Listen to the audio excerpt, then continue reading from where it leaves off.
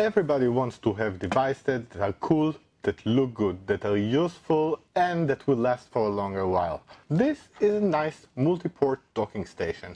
It's made of aluminum, it's got rubber fit on both sides, so it can be used on both sides, like this or like this.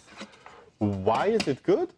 Because not always your connector would be on this side. Sometimes you will have to connect something from this side, and that's why this is so practical. All you need to do is just turn it around and you can connect your stuff to it without any issues.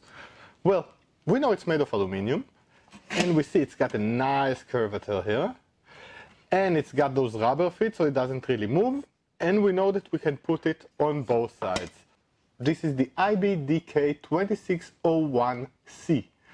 It is nice, it's got an integrated half meter Type-C cable, it's USB 3.0 Type-C, it's a nice connector, it can be connected like this, but also reversible on the other side. Let's look what do we have inside this. Here we have a little combo audio port. This port will let you in and out audio, like microphone and headset.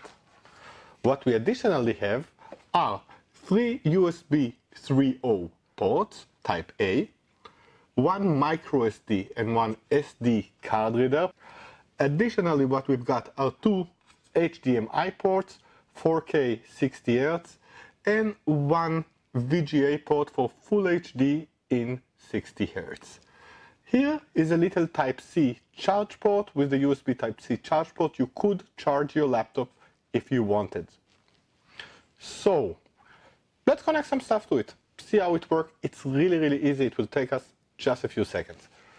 I will start with two USB sticks. It's the most practical always.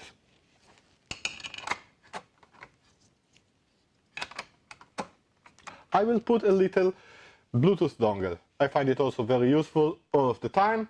It's inside the micro card reader first and then the card reader. Look how nice it is. I will connect one external screen to it through the HDMI port. Let's say here. Remember I told you what for this curve is? It is in order to connect the notebook to the docking station and still save time and space. So I will put it like this.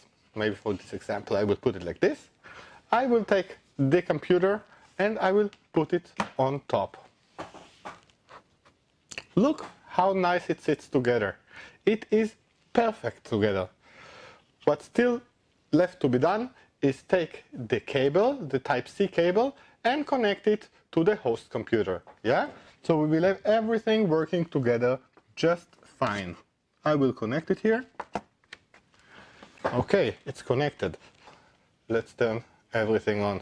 As you can see, the screen is functioning I can drag stuff to it, I can work with it, it is extended, I could make it a mirror as well, it is no problem, everything is possible. Your wish is the limit actually. Everything that's needed with one small little device that not only extend the port, but also help us cool the computer a bit with the aluminum and the angle and saves place. We don't need anything around our computer, don't need anything sticking from the sides, we just have it below the computer, which is actually the most ideal. I hope you liked this video. If you liked it, please press like. If you didn't like it, press dislike. Let us know why. Write us. Tell us. We'll be happy to hear you. We'll be happy to answer you. Have a nice one. Bye, guys.